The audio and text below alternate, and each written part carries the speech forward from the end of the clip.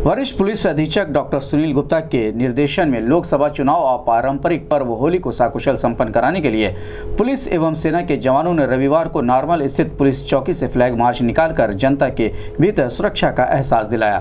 Flag march normal Chowk, Pandehata Ghantakar Chowk होते हुए मुख्यमंत्री के जुलूस रूट पर फ्लैग मार्च किया। फ्लैग मार्च में मुख्य रूप से SP city Vinay Kumar Singh, CO cantt Prabhat Rai, सहायक पुलिस अधीक्षक व थाना अध्यक्ष तिवारीपुर शुभम पटेल सहित कैंट कोतवाली तिवारीपुर, शाहपुर राजघाट इंस्पेक्टर व थाना अध्यक्ष के साथ साथ एसएसपी की दो कंपनी फोर्स शामिल रही। इस संबंध में गोरखपुर संवाददाता से बात करते हुए एसपी सिटी विनय कुमार सिंह ने कहा।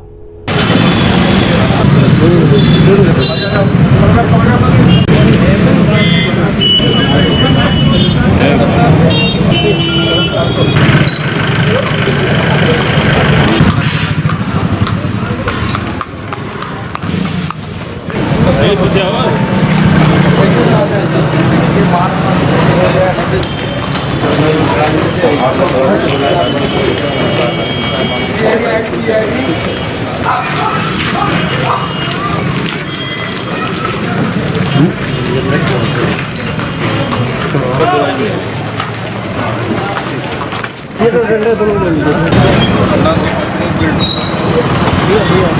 के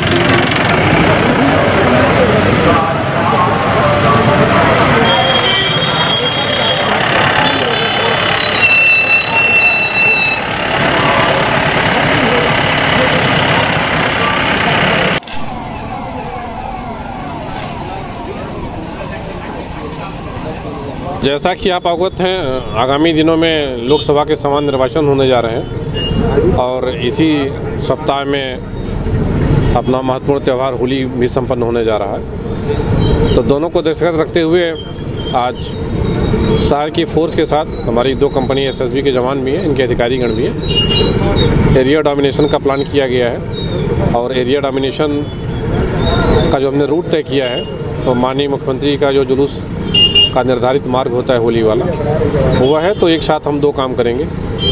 चुनाव के दृष्टिगत एरिया डोमिनेशन भी करेंगे और जो हमारा होली के त्यौहार का पारंपरिक मार्ग है, उस पर रूट मार्च भी करेंगे।